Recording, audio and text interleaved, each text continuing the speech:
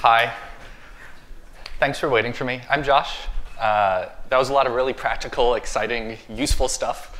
So I'd like to talk about some stuff that's a lot less practical, a lot less useful, and probably a lot less exciting. Uh, you can see all this stuff on my site. Uh, there's a blog link on there that has the full form of this, so if you want to jump ahead or jump behind in the presentation, that's kosher too. Uh, to reiterate, I'm Josh. Uh, I'm from upstate New York. I lived in Seattle for a while where I became a cat dad. I am now in Brooklyn where I am still a cat dad. I maintain a few libraries that you may use, hopefully will eventually stop using.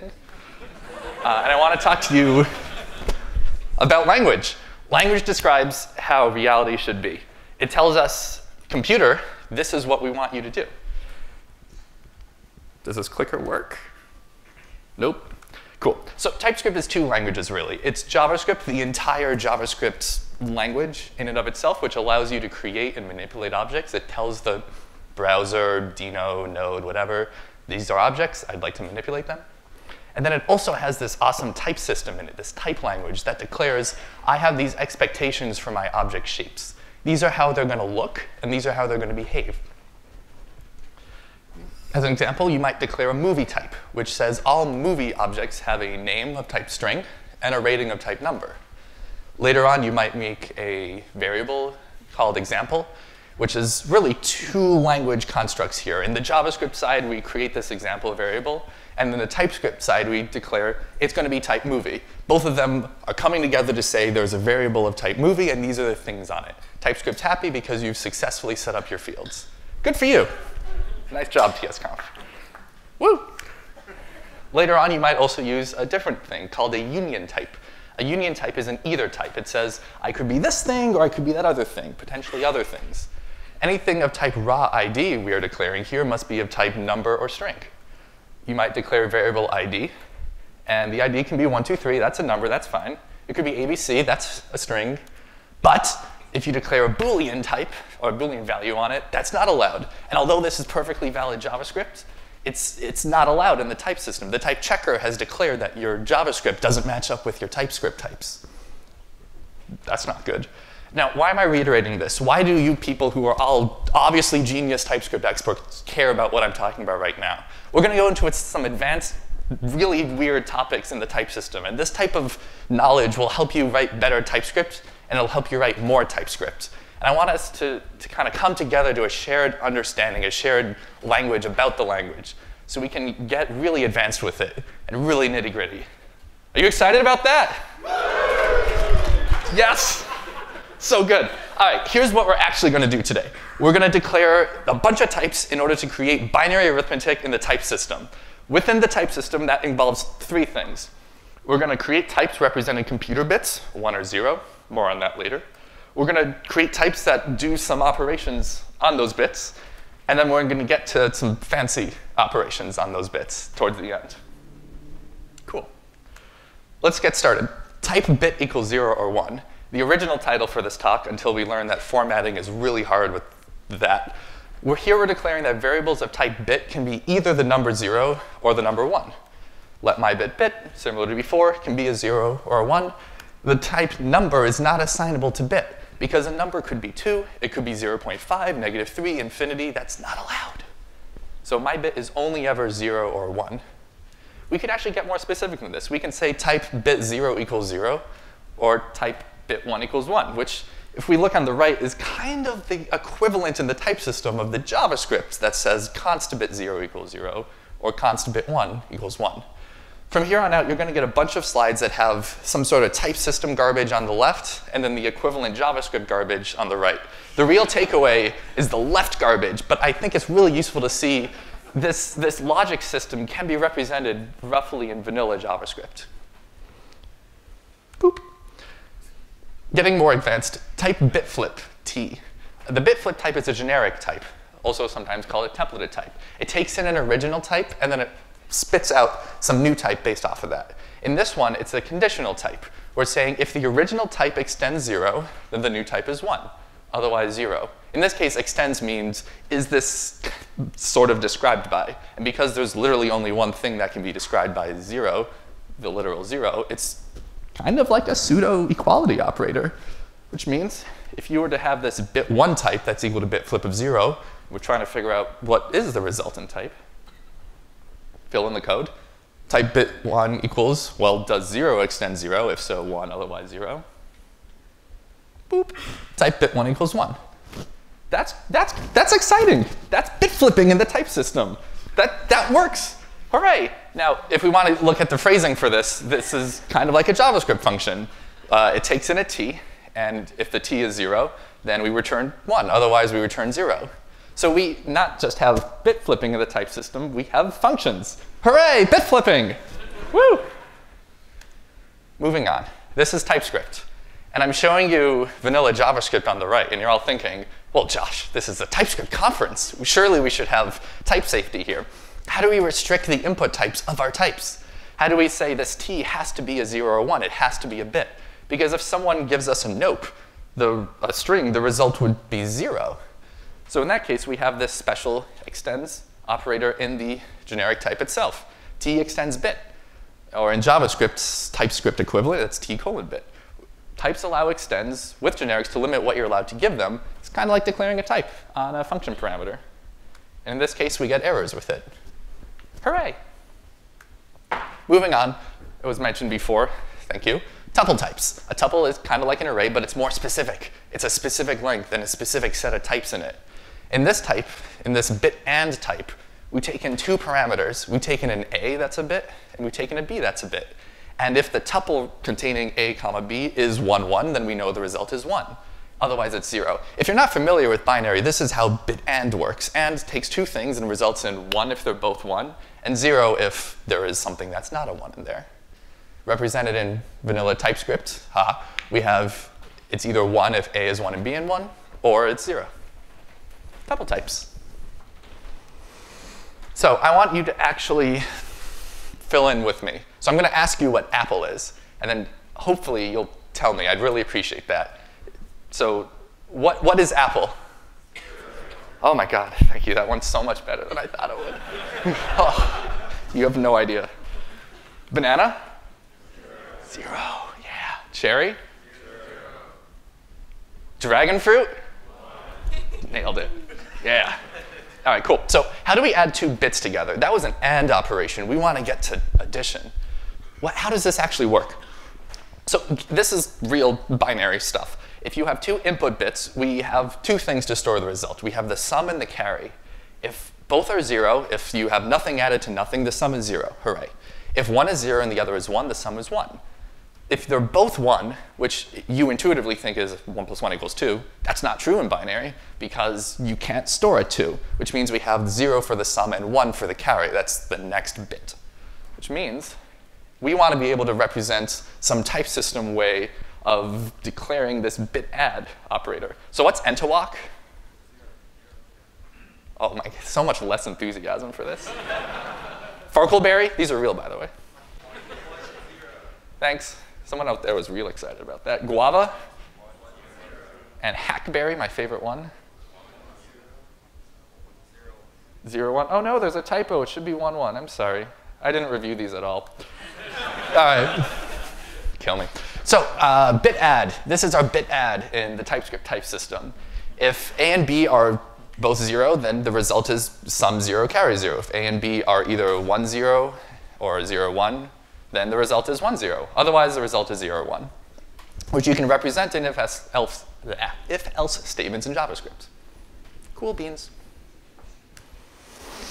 Now we get to integers, full on int 8s. Real good stuff. There's no like shortcut in the type system to say array of size 8. What are you guys doing? Come on. there go my GitHub pull requests. I'll, I'll file that issue right after this. Woo. All right, yeah, and int, what does int 8 actually mean? It's an 8-bit integer, but what does 8-bit actually mean? It literally means that there are 8 bits that make this integer. 0 is 8 zeros. 1 is the first, the least significant, the least valuable bit is 1. It's 2 to the 0, which is 1. Then if you want to get 2, it's the next bit. 2 to the 1 is 2. Then if you have 3, it's 2 to the 0 plus 2 to the 1, which is 3. And then if you have 4, this, this is going on and on. There is an easier way to start typing these out. Not the fixed length array, But I want to introduce now mapped types, where I don't want to have to write all eight bits for my numbers. If I already have a zero and I just want to change one bit in there, I want to have a way to just change that one bit. Well, a mapped type takes in an original type, takes in all the members of that original type, all the properties of it, and then spits out a new type with mapped properties, changed ones. In this case, we're saying every index in the original int becomes a value zero, which in JavaScript TypeScript land is the dot .map function.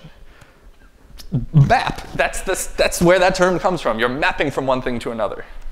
So what's, I don't know how to pronounce this, imbe, imbe? Someone said whatever I want. It is whatever I want. It's, it's an array of size one that has exactly one zero in it. And what is zero, of? in this case, zero out of int eight?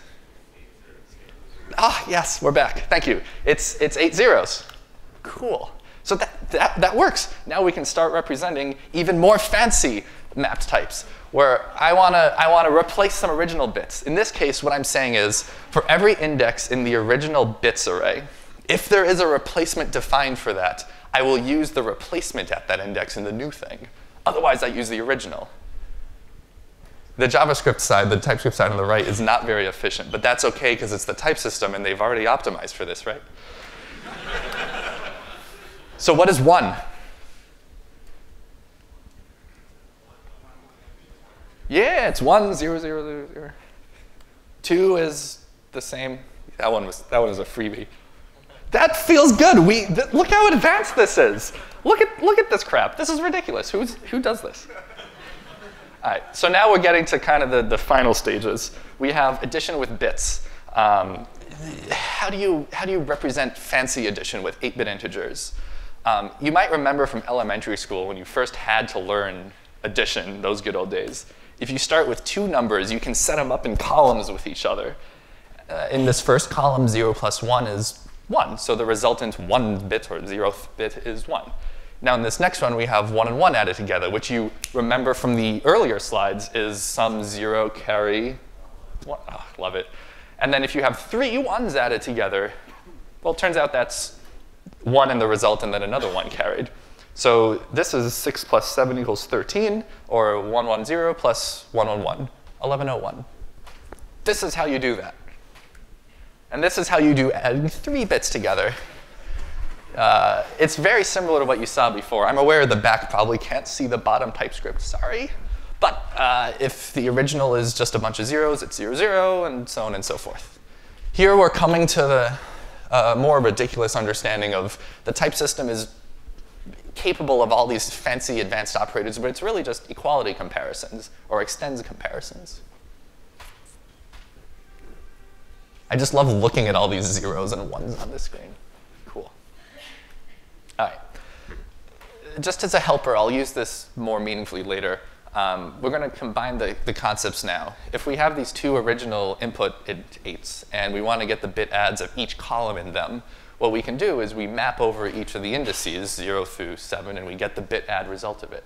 So this bit add function, or bit add generic type, takes in two, let's say, int eights, and maps them. For each index, we retrieve a bit add of those things at that column.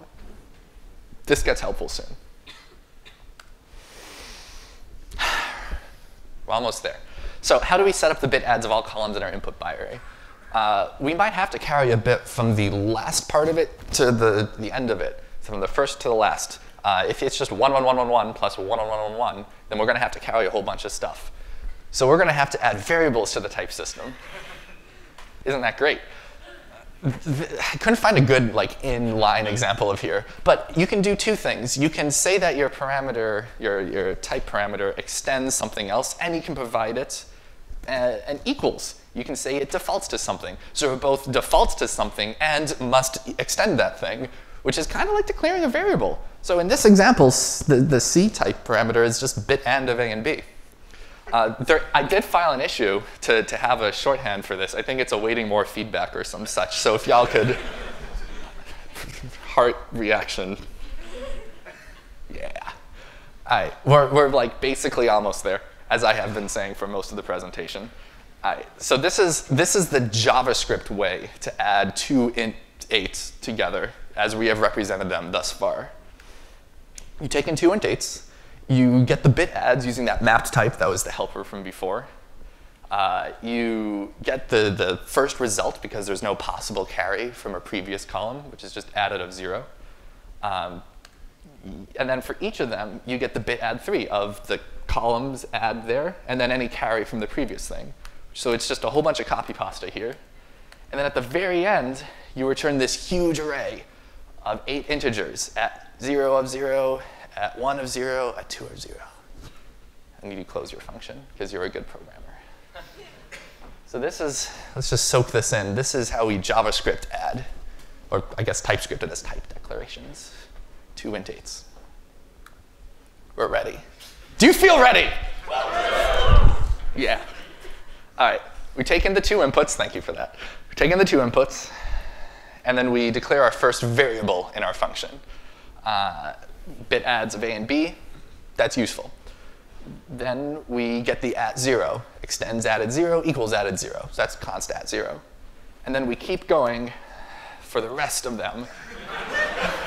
so much copy pasta. And then we return the thing at the end. That's our result. Cool. Yeah.